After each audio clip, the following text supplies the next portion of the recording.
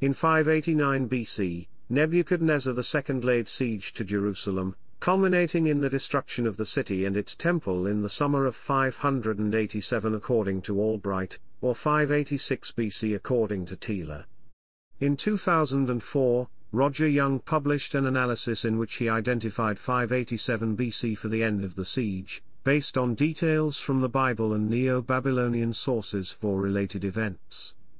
Whereas the Nebuchadnezzar Chronicle provides information about the siege of Jerusalem in 597 BC, the only known records of the siege that culminated in Jerusalem's destruction are found in the Hebrew Bible. Chapter 1 Biblical Narrative Chapter 1 Section 1 Background Following the siege of 597 BC, the Neo-Babylonian king Nebuchadnezzar installed Zedekiah as vassal king of Judah, at the age of 21. However, Zedekiah revolted against Babylon, and entered into an alliance with Pharaoh Hophra, the king of Egypt. Nebuchadnezzar responded by invading Judah. Chapter 1 Section 2 Siege Nebuchadnezzar began a siege of Jerusalem in January 589 BC. The Bible describes the city as enduring horrible deprivation during the siege. In the eleventh year of Zedekiah's reign, Nebuchadnezzar broke through Jerusalem's walls, conquering the city.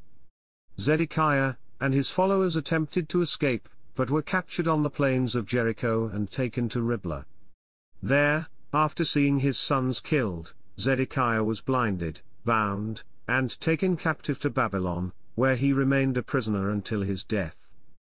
Chapter 1 Section 3 Aftermath After the fall of Jerusalem, the Babylonian general Nebuzaradan was sent to complete its destruction. Jerusalem was plundered, and Solomon's temple was destroyed. Most of the elite were taken into captivity in Babylon. The city was razed to the ground. Only a few people were permitted to remain to tend to the land. The Jew Gedaliah was made governor of the remnant of Judah, the Yehud province, with a Chaldean guard stationed at Mizpah. The Bible reports that, on hearing this news, Jews who had fled to Moab, Ammon, Edom, and in other countries returned to Judah. Gedaliah was assassinated by Ishmael son of Nethaniah two months later, and the population that had remained and those who had returned then fled to Egypt for safety. In Egypt, they settled in Migdol, Tahpanhes, Memphis, and Pathros in the vicinity of Thebes.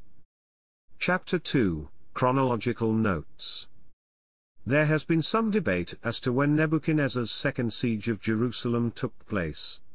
There is no dispute that Jerusalem fell the second time in the summer month of Tammuz, but William F. Albright dated the end of Zedekiah's reign and the fall of Jerusalem to 587 BC whereas Edwin. Thiele offered 586 BC. Chapter 2 Section 1, 586 BC. Thiele's reckoning is based on the presentation of Zedekiah's reign on an accession basis, which he asserts was occasionally used for the kings of Judah. In that case, the year that Zedekiah came to the throne would be his zeroth year, his first full year would be 597 596 BC, and his eleventh year, the year that Jerusalem fell, would be 587 586 BC.